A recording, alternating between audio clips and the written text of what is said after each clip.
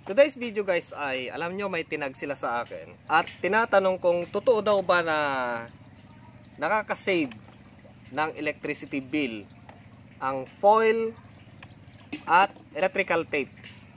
Papatunayan ko sa inyo na nakakasave talaga ng kuryente itong foil at tape.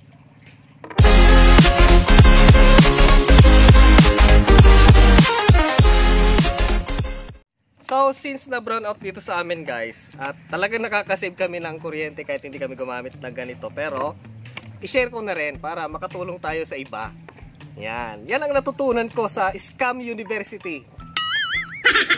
Yan. Para ano, may share natin sa iba. Yung pang-scam natin. Okay, marami na naman magagalit kay Juan. Since na brown out dito guys ay inverter lang yung gagamitin ko 2200 watts na cement cell ha. Tapos, ang karamihan naman na dinedemo nila heater eh. Water heater. Kung bakit hindi pwedeng mga electric fan, mga motor, pwede rin yung hindi masyado malata yung ikot niya. So, ang gagamitin ko dito ay wala akong clamp tester pero mas maganda to kasi mas mamahalin to kaysa yung clamp tester. Digital tester, mamimiter natin kung ilan yung kinakain niyang ampere. Tapos, compute natin sa wattage. Convert natin. Yan, subukan muna natin na wala siyang foil. Tapos, electrical tape. Subukan muna natin. Bale, naka-install na siya guys sa aking uh, DIY extension. Eh.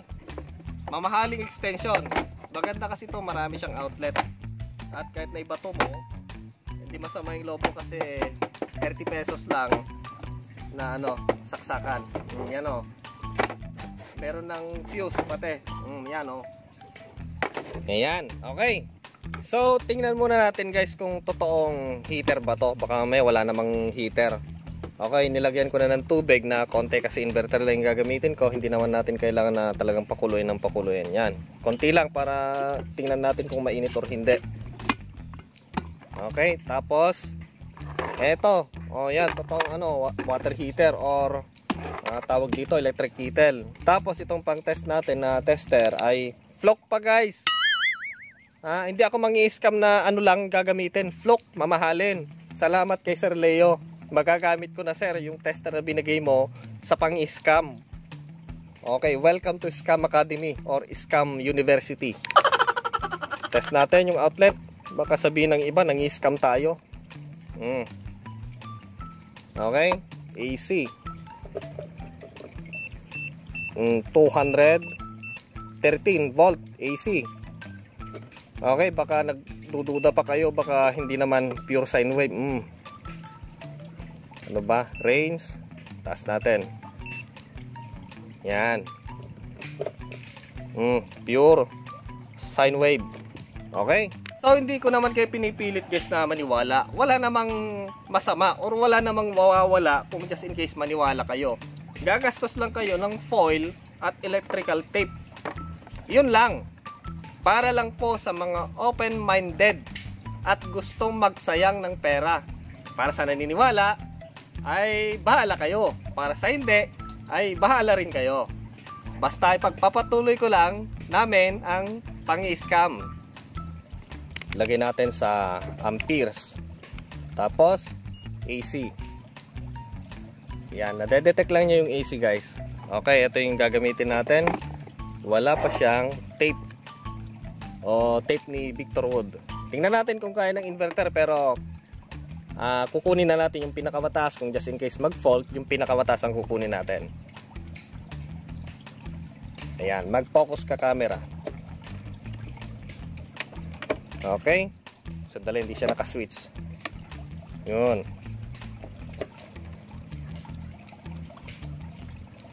ayun mabot siya ng 5 ampere 5 point something compute natin kung ilan yung kalalabasan niya 5 times 220 or 213 volt 1065 watts itong water heater na to okay hindi kaya ng inverter pero subukan natin para painit lang natin kahit konti Ayan. Yan siya guys. Kumukulo na siya. Okay, mainit na siya.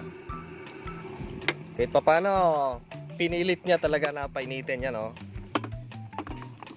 Mainit na siya. Pa paano, inverter lang yung ginagamit ko, guys. Tapon natin para palitan natin mamaya. Mainit, mainit, mainit. So, ang preparation niya, guys, ay ganito. Para ka lang gagawa ng suman. Yan, pagilid muna natin. Ito ang kailangan balutin natin. Pinili ko na guys yung pinakamaikse para hindi magastos sa foil. Ah, talagang ano, ah, libre talaga lahat. Gusto natin talagang halos wala tayong babayaran. Yan. Hatiin natin siya ng ganon, ganon, ganon, ganon. Tapos, ibalot natin sa wire. Lipat natin yung camera dito para makita nyo. Para someday, i-share nyo rin sa iba mang-scam din kayo sa iba. Okay, Mr. Scam Guy. sa mga nagagalit, bakit ganito daw ako mag-debunk? Parang nakakaasar o kaya nakakagalit or nakakalalaki. Ganito kasi guys. May nakita na ba kayong mang-debunk na sobrang hinhin, na sobrang magiliw? Mayroon bang ganon? Lahat ng nagde-debunk or nag-expose ganito. Kayo naman eh. Eh, galit lang siguro kasi nga ay baka ginagawa rin nila or nangi-scam din sila. Alam niyo na basta nagalit sa comment section, uh, galit kay Juan Dilasag. Ibig sabihin, kabilang sa mga scam university. May nakita na ba kayong rakista na mahinhin? Walang ganon. Yan. Ganyan lang.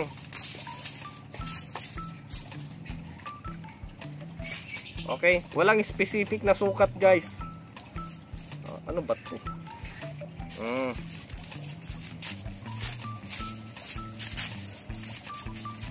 Kung anong trip nyo na sukat niya, di bahala kayo sa buhay nyo. Okay, ito na lang para ano.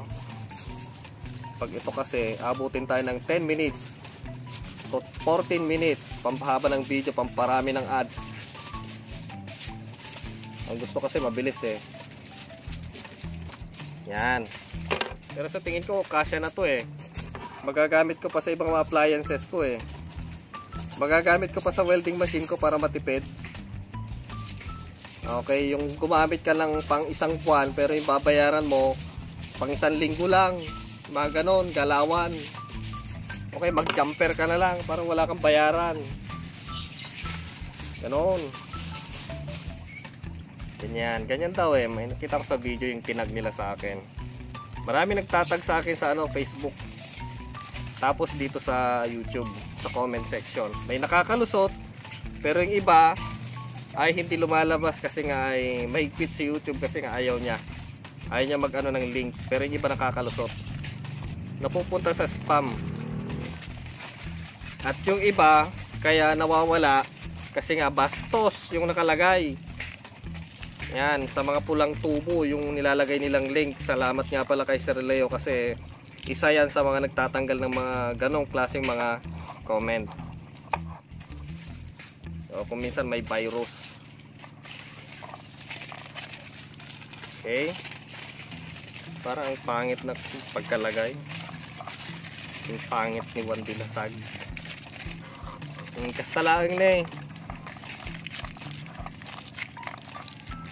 para halos wala na tayong babayaran doblein pa natin ganun yan para pag may umusling ano dyan wire yan talo talo na lahat dyan. Biro mo yung talagang ikaw pa yung babayaran ng Meralco yung kapal lang nilagay mong foil. Oh. Yan ganyan daw eh. Oh. Yung brand ng electrical tape kahit local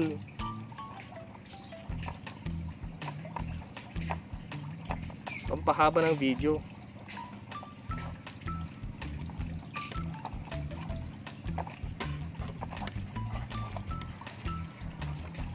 Boom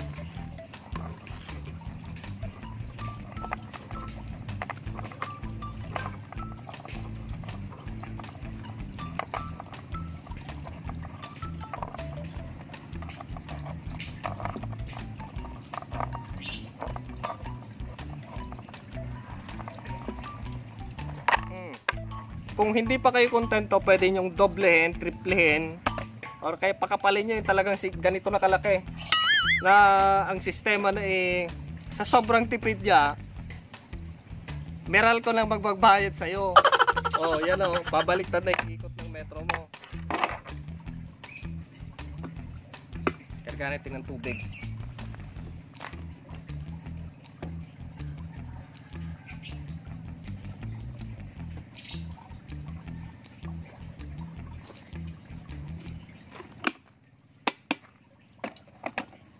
Siya mainit ah, oh.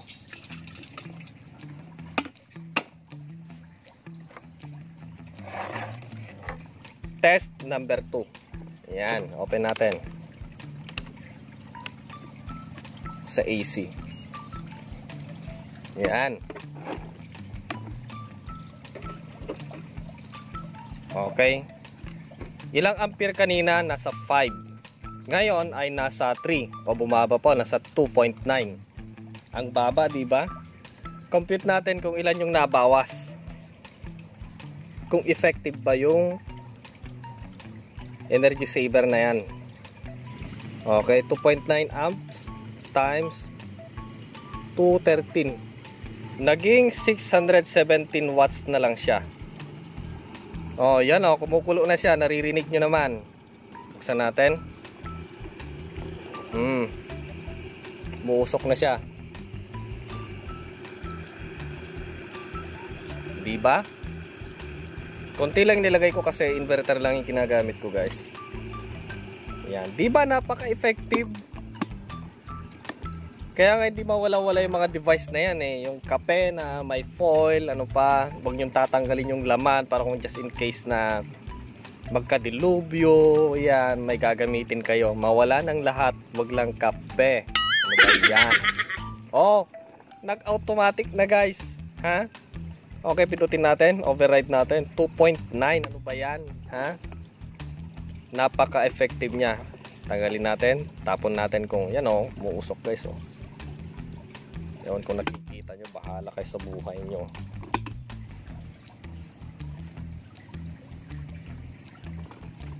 So, ang dilasag, pwede ko rin lagyan tong welding machine ko. Kasi matakaw din sa kuryente to sa alam ko eh. Ah, wag, wag muna. Kasi karamihan lang naman na nagde-demo ng ganito guys, ay yung mga, yung iba may alam sa electronics or electrical. Yung iba ay talagang walang alam. Uh, yun na nga yung iba ay nagmamaang-maangan kasi nga alam nila. Gusto lang mang ano mang good time or mang ewan kung ano yung trip nila sa buhay nila. Bago kayo maniwala sa mga bagay na wala namang kakwenta-kwenta umaasa sa isang bagay na wala namang katotohanan. Electroplasma baka may naniniwala pa sa inyong fairy tale hindi ko nga alam guys kung bakit maraming natutuwa sa mga bidyong ganyan yung alam mo nang niloloko ka na pinapalakpakan mo pa Saksak natin dito. 226.9. Tapos dito, naging 160 or 25. So ano yung nangyari? Ba't ganon? 220 dun sa kabila, tapos dito sa kabila ay nasa 110 na lang. So, ang totoo guys, hindi ka nakatipid. Ikaw ang tinipid. Sa mga electronics at electrical, alam na nila kung ano yung ibig sabihin nito. Scam. Kaya nga guys, karamihan na tinitira ng mga yan ay yung mga walang alam. Pero may alam na ay uh, dadaanan lang nila. Kaya sabi ko na nga, lamang ang may alam. Okay?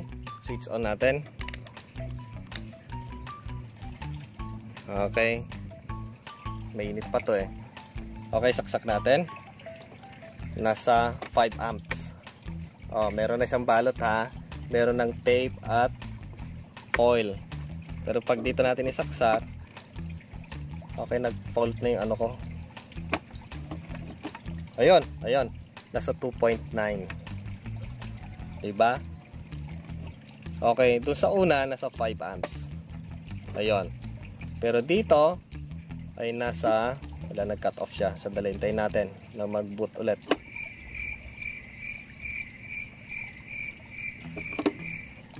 Okay, sandali. Much, much, much later. Bale, nag-cut off lang guys yung inverter ko kasi brown out dito sa amin at medyo mahina na rin yung battery. Saksak natin. Yan o. Ba't ganun yung nangyari? Ganito guys. Test muna natin. Ang mahirap kasi sa mga tao, pakitaan mo lang ng konting magic, naniniwala na bibili na kagad ng kape 3 in 1 babalutin na yung rep babalutin na yung kung ano yung binabalot nila. Okay. Ganun ang tao guys. Yung i-correct mo na galit pa sa'yo. 228 125 na hati ano yung nangyari okay tingnan natin kung bakit ganon Yan. Punta tayo sa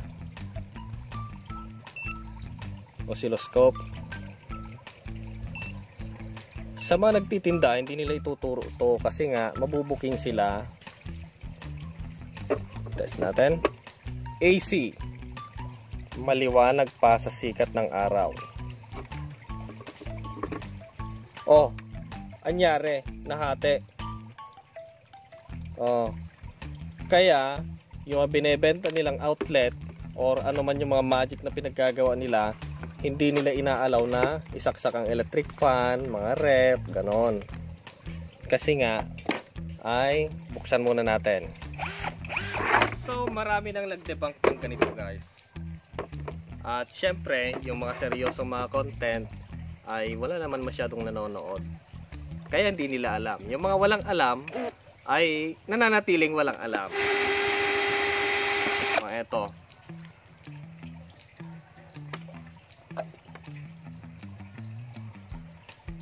Complicated yung wiring. Yung mga walang alam, di maintindihan. Naniniwala na lang sa fairy tale. Ayan o, may diode o. Kaya yung 220, yung kanyang sinusoidal ay nahati. Kaya yung voltahe niya, kalahati. Hindi ka nakatipid. Ikaw ang tinipid. Yun lang yon. Kaya bago maniwala,